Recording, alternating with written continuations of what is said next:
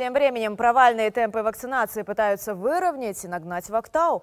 В регионе, где на сегодня вакцинировались 96 тысяч жителей, прививают людей на рынках. На одном из таких установили временный прививочный пункт. За один день первым компонентом иммунизировались почти 50 человек. На рынке свой бизнес ведут больше сотни людей. Система АШИХ там не установлена, поэтому коллектив решил вакцинироваться. Причем почти массово уколы получили 80% от общего числа всех сотрудников. Остальные по состоянию состоянию здоровья имеют временный медотвод. Уже 20 лет мы здесь торгуем, уже в Асарсе. Ага. Вчера мы первую вакцину получили, ни температуры, ничего не было, все хорошо себя чувствую, сама себя безопасила.